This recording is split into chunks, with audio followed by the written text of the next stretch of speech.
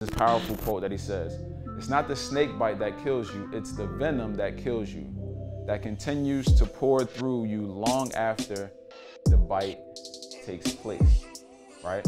And what that means is this it's not the initial event that breaks you down, but it's the constant replaying of that event.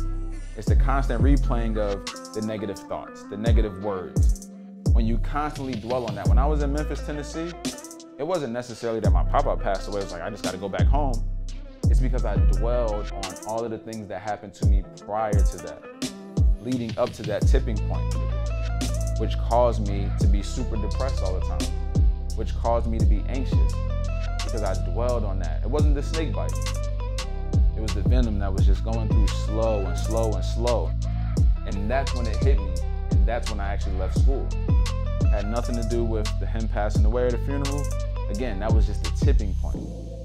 But at that time, everything started to catch up and it just continued to linger and continued to linger, right?